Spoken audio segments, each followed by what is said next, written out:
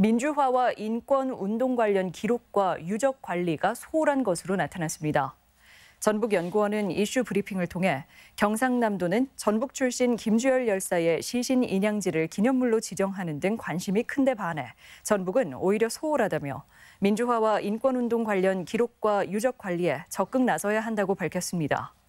이와 함께 군부 독재에 맞선 민주화와 인권운동의 역사를 계승, 발전시키기 위한 위원회 구성과 조례 제정을 제안했습니다.